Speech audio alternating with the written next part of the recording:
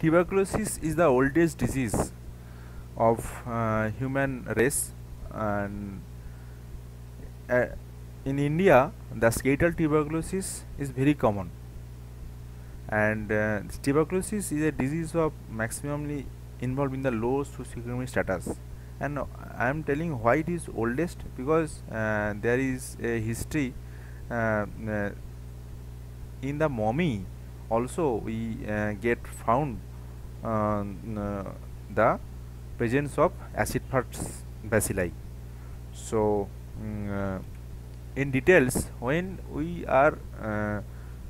seeing a patient with this type of uh, malnutrition and this toxic look and this type of malnourished species then first we have to think about uh, the constitutional symptoms this is also called cachexia and cachexia may be due to tumor or may be due to some uh, diabetes or may be due to cancer, maybe sarcoma or may be due to energy malnutrition. But main pathological uh, cause of this malnutrition or the or or uh, this type of toxic look, uh, this is uh, due to tumor necrosis factor alpha and a most common uh, uh, look for tuberculosis patient and uh, that patient must be give a history of a typical evening rise of temperature night cry and there must be a palpable swelling uh, which uh, signifies the presence uh, of cold abscess and may be present with some deformity and painful swelling around the spine or around the joint and regarding the manifestation of the spine first we have to uh, go in uh, embryology uh, of development uh, of the spine somatome dermatome so when uh, the two adjacent area of uh, the spine is developed there will come the lower half of the upper spine or vertebrae will and the upper half of the lower vertebrae uh, and the in, uh, interstitial space will uh, mm, or intervertebral disc space will get origin from a same somite, so the blood supply of this area will, will be the same so as this tuberculosis uh, skeletal tuberculosis hematogenous spread so chance of spreading in this area is maximum and uh, so this is the most common zone or paradiscal this is called paradiscal and this is the most common zone for predisposing the tuberculous bacilli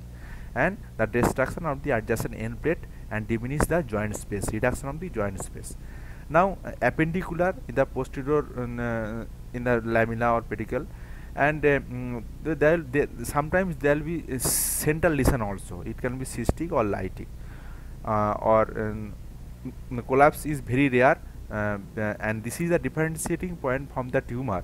the most commonly affected areas intervertebral discs if reduced then uh, you have to uh, think about tv until and otherwise book but if there is a lighting lesion over uh, a, a, single vertebrae then you have to think about uh, the metastasis or multiple compression fracture until and uh, otherwise proved now anterior wall can or anterior longitudinal ligament can be affected in that case there will be a fusiform swelling or due to um, debris there will be chance of anonymal phenomenon and synovitis of the posterior facet joint also so a special feature of the tuberculosis is night cry why because uh, during uh, that tb there will be some joint destruction or any uh, inflammation of uh, this mm, facet joint now due to destruction of that joint there दब subarticular region the bone the nerve will be get expose now in the day time due to masses spasm the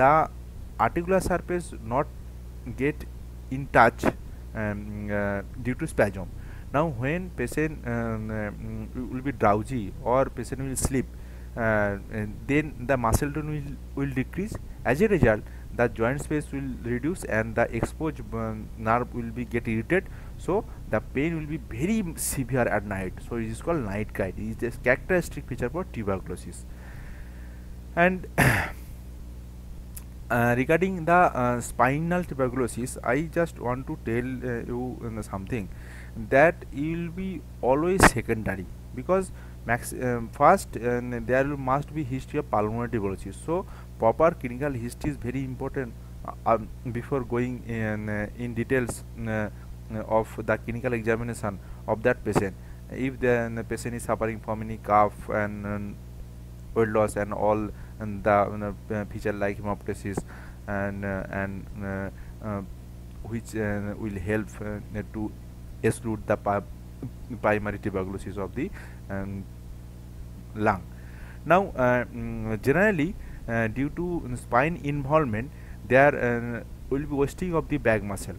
and there may be sinus and restriction of the movement and due to back muscle spasm patient cannot flex um, anteriorly so if we uh, if we tell or you ask the patient to mm, mm, to take a coin from the ground he will bend his knee he will hold um, uh, this knee with the support hand and he will not uh, allow um, uh, the flexion of uh, the spine uh, so this is called coin test okay now um, uh, regarding the mm, the neurological if the spine is involved then the chance of extradural compression so the nerve can be gets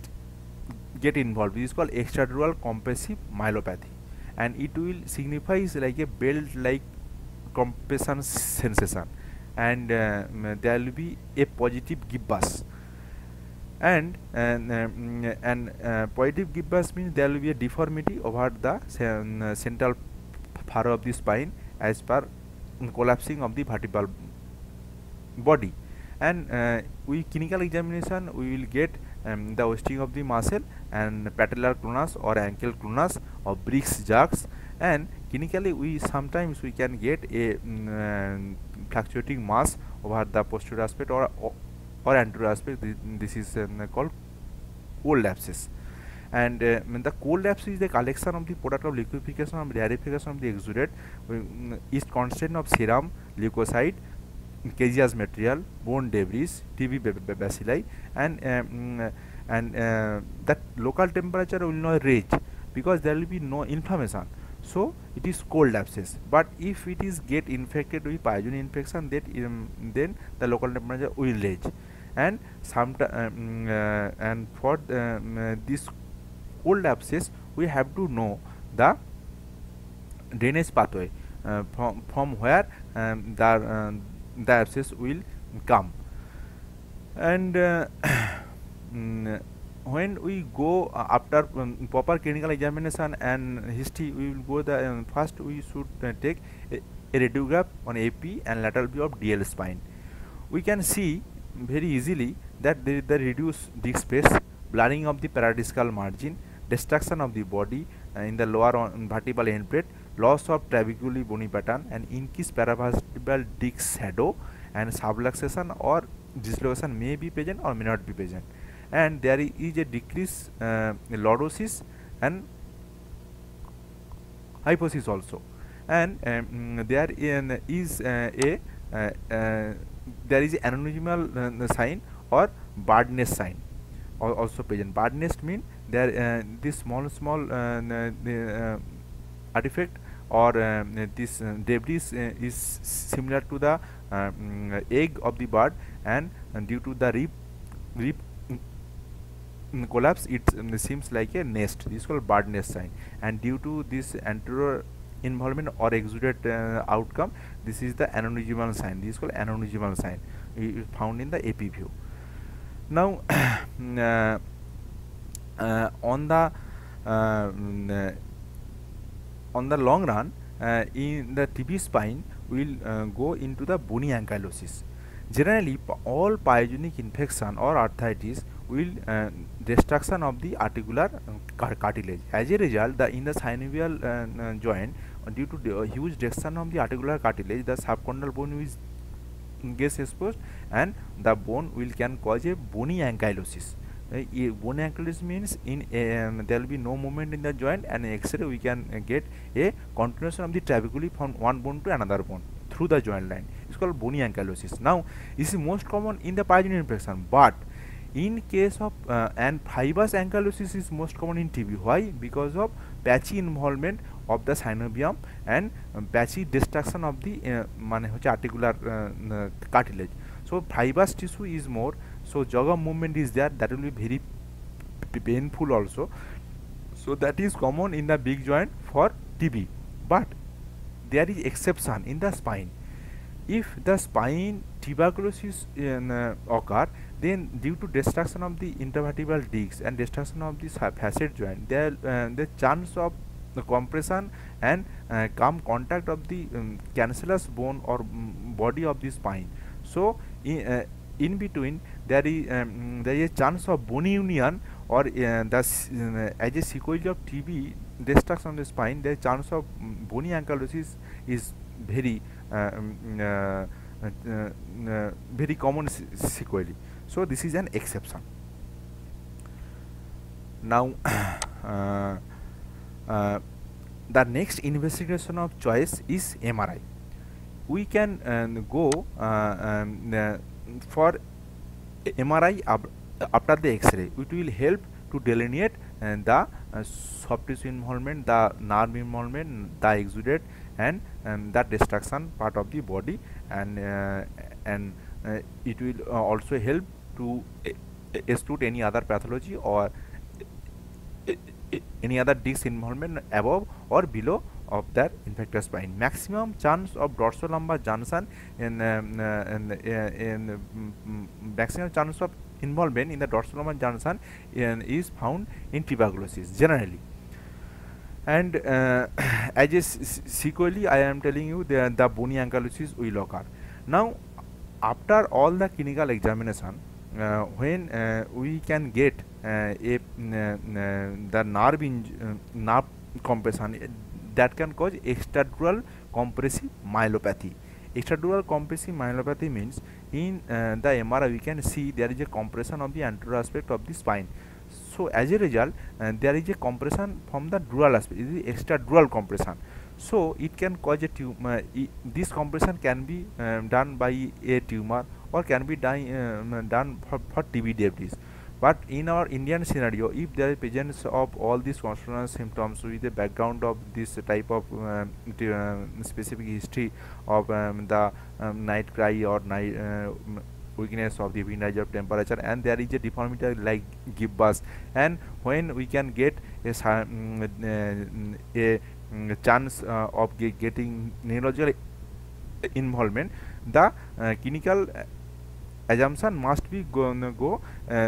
in favour of Pott's spine और Pott's paraplegia the T B involvement of the bone spine is called Pott's paraplegia और Pott's paraparesis और Pott's spine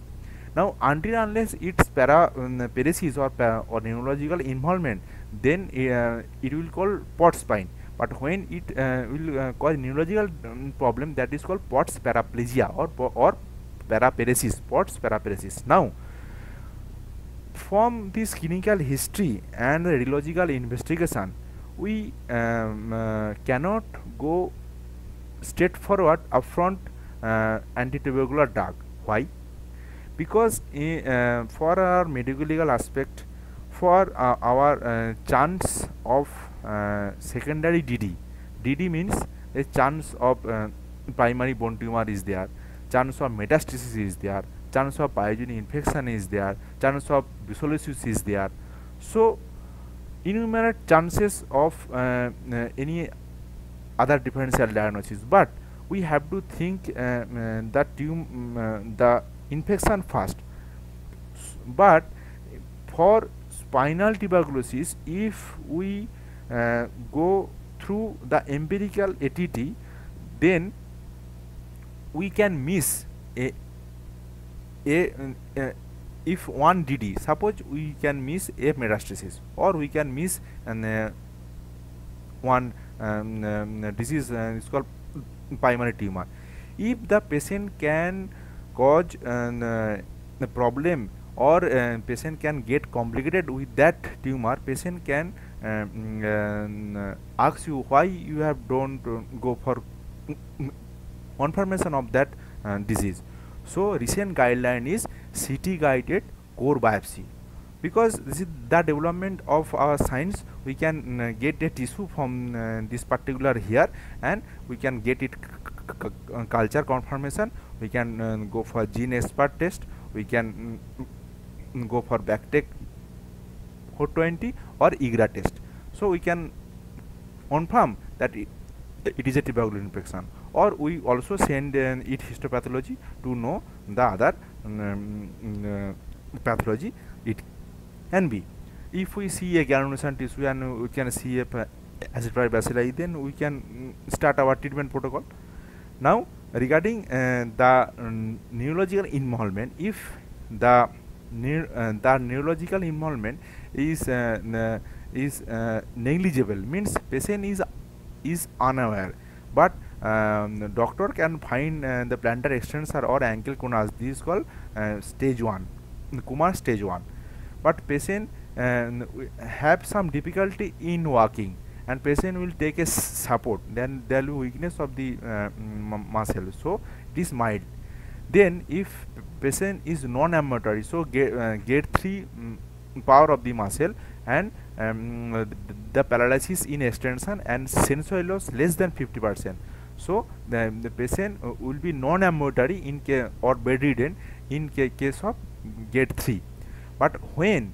this patient get involved with any bladder wall involvement or uh, paralysis more than 50% then it called severe this is called gate 4 involvement. So gate 4 means bladder wall involvement. Gate 1 means patient cannot uh, uh, able but doctor can find. Gate 2 means patient will felt difficult but can walk but in bed 3 patient will be non-ambulatory now the treatment about uh, this type of POTS paraplegia or POTS spine may be involved uh, neurological may, may not be involved mm, non-neurological we can go for middle path regimen middle path regimen means we will go for both conservative as well as intervention if needed and uh, we can go for supplement of multivitamin hemodian or hematinics or high protein diet and along with the, the follow up with investigations and all and uh, we can uh, grow a gradual mobilization of the patient in bed mobilization if we need for abscess drainage we can do that or you can go for a sinus exclusion or if neurological complication will increase there can go for decompression or surgical treatment now very important topic Uh, regarding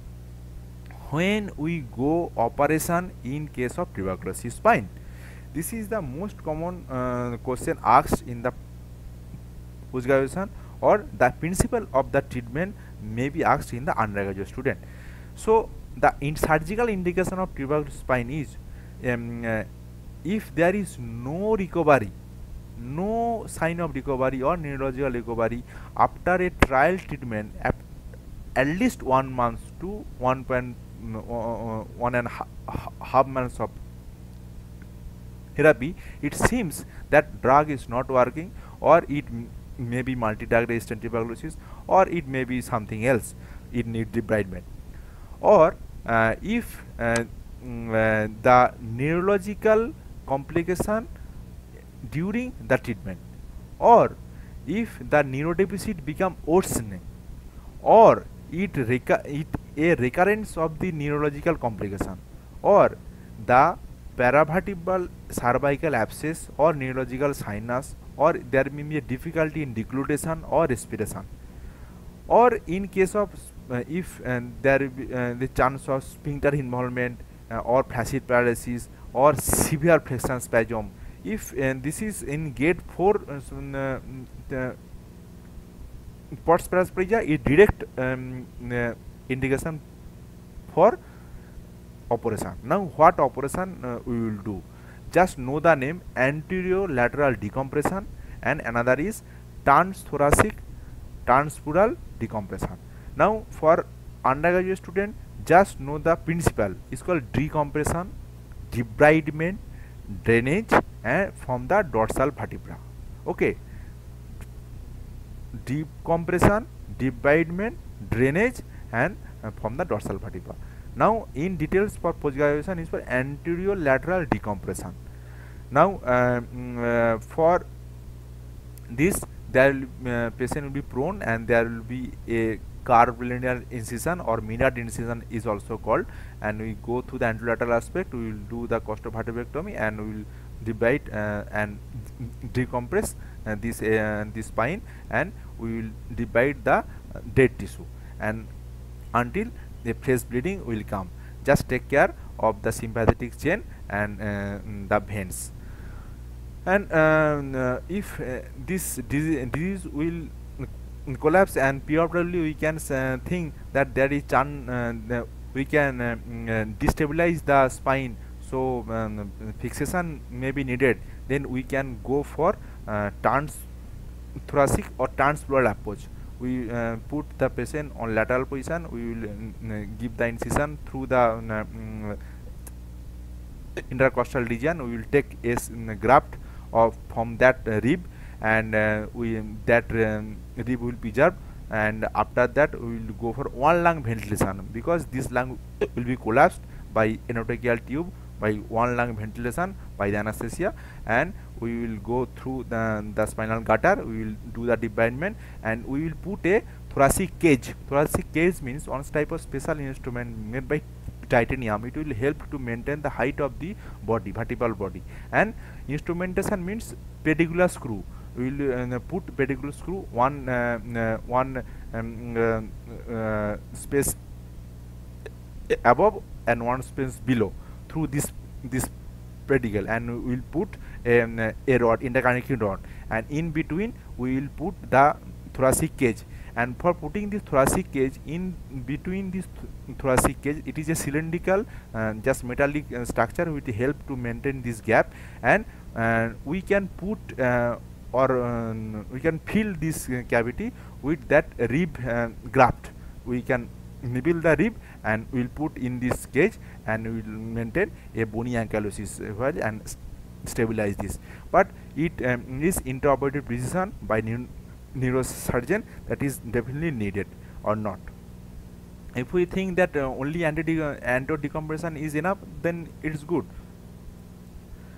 now regarding the tb hip tb hip, TB hip also come as a short note or case in uh, the um, in the exam purpose. The TV hip is the most common uh, joint involvement and initial focus is the roof of the acetabulum in the most common, then epiphysis of the head, then the geratobanda, then the Babcock triangle. The Babcock triangle is a triangle just below the neck and generally it uh, again osteoarticular tuberculosis is secondary always come from uh, any primary source to hematogenous hematogenous um, root Now uh, the radiology will suggest that will be, uh, after a clinical examination of uh, the limp, painful limping and TB uh, history of TB contact or active tuberculosis is there, there will be anterior hip and uh, anterior hip will be tender and the whole range of motion will be um, uh, difficult and uh, on radiology uh, there will be reduction of the joint space and, and um, that destruction both um, from the acetabula aspect and both from the um, uh, bony um, femoral aspect there will be irregular or fuzzy margin now there are uh, two, uh, th three to four stages of tuberculosis of the hip um, due to information synovitis the, uh, the joint will take maximum position so it will take maximum position on extension or uh, in abduction or external external external rotation so um, the uh, the hip will get uh, flexed abducted and externally rotated now the soft tissue swelling also present in the x-ray and apparent lengthening will be there in stage 2 apparent uh, shortening will be there and uh, mm, uh, uh due to articular damage and x-ray will show osteopenia and normal joint space still and in case of uh, advanced case that will be apparent shortening again and all the exaggerated finding and severity of these symptoms and joint swells will be reduced in the long run case if the destruction is more loss then the hip ca can be dislocated is called wandering acetabulum or destruction of the joint now uh, there uh, is uh, one type of uh, destruction is uh, destruction of the whole acetabulum and the head of the, of the uh, femur will be very small this is called mottled and pastel type of deformity and uh, as per destruction uh, there uh, is seven type of destruction uh, and the outcome of uh, after the TB heap is called uh, is um, described by Samugda Sundaram classification it is normal then this called traveling acetabulum then it is dislocating acetabulum then one type of parthis type of because sometimes there is a mm, mm, metaphyseal cyst broadening of the neck and head subluxation of the mm, neck this uh, so it seems to be uh, like is radiologically so it is perthoid tubular tuberculosis then uh, one can cause a Portusia acidoboli, the invasion of the uh, head through the uh, acetabulum floor, the Portusia acidoboli. Then there may be atrophic of the joint, this, this is atrophic type. And lastly, mortal and pastel type. Now treatment protocol. As per uh, treatment protocol of tuberculosis, again the early diagnosis is the most important and uh, for good outcome. If we uh, suspect a case of tuberculosis in the early stage, we should uh, um, go for hip aspiration and we go through enterocide or through the GT on the CM. Then we can um, uh, do the st um, stage physiotherapy and we can start the ATT and we can put the patient in traction uh, in absolute bed rest but we can go for physiotherapy also now in advanced arthritis cases we can go for debridement of that joint and sometimes when it is get dislocated then we should uh, in the uh, in maximum uh, the uh, patient is suffering uh, from that dislocated hip or any joint destruction in the child the pediatric age group so what can we do we can go for arthrodesis or we can go for only deep bindment or we can allow um, the movement it will help in long, long run for a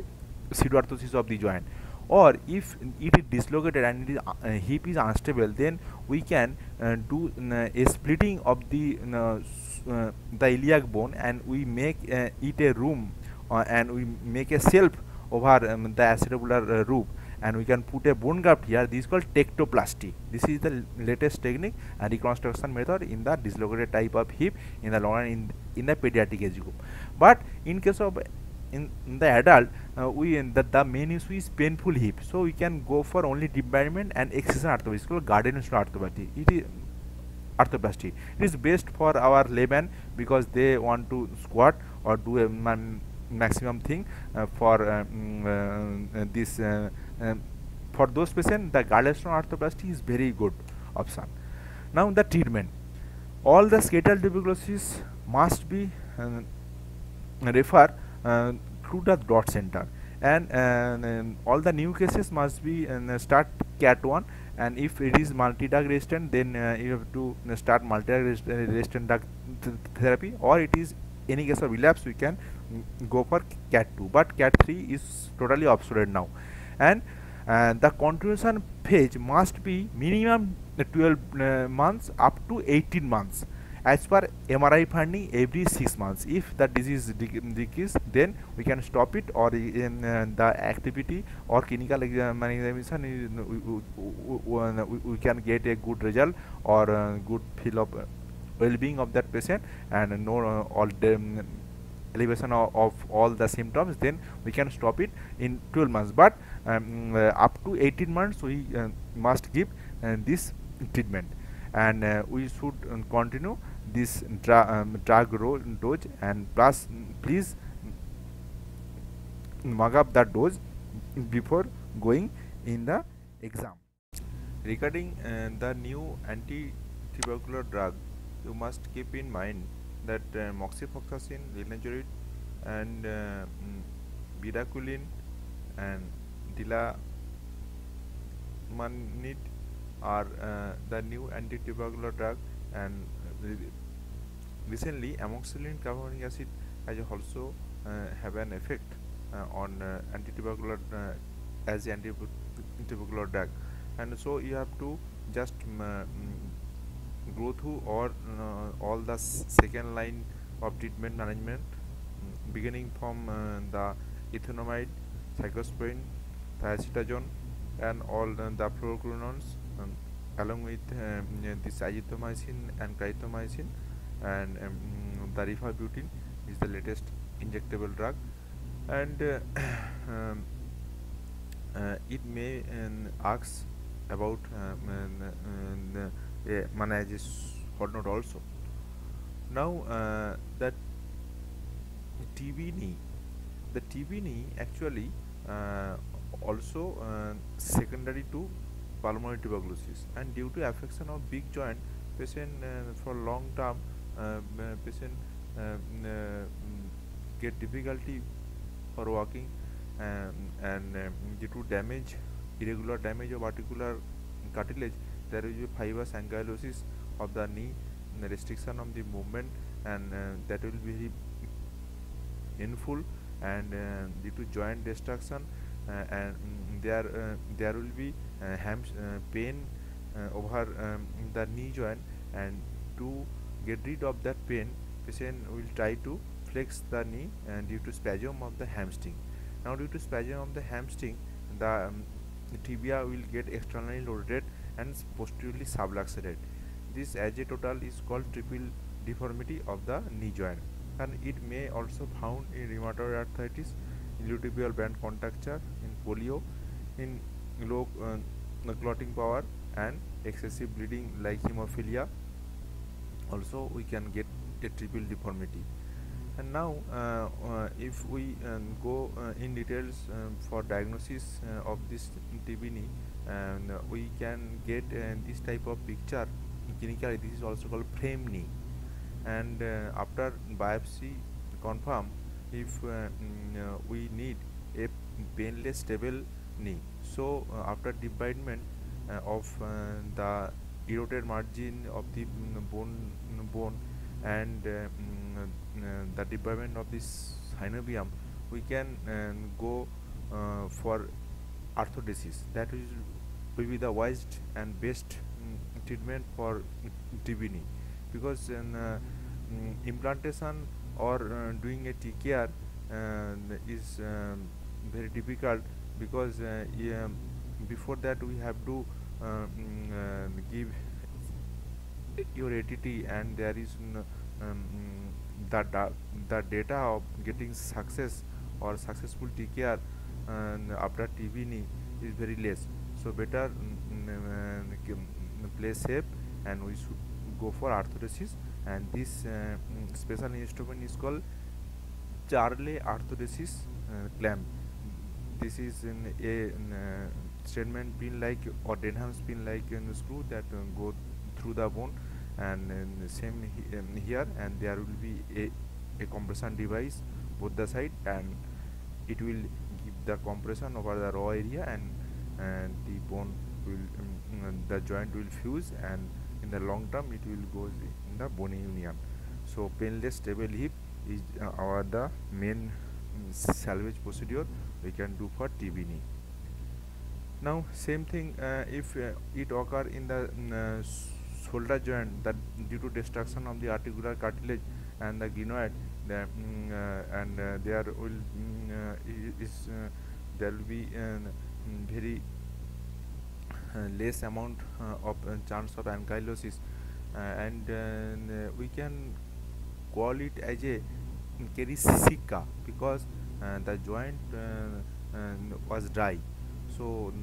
this is a special involvement of shoulder in case of TB kerisica and uh, also we can get in the case uh, like uh, tubercular dactylitis or it is also called spina ventosa the name spina ventosa not related with the spine it is that um, the tuberculosis affected in the phalanx bones and um, again the treatment is um, uh, you can do um,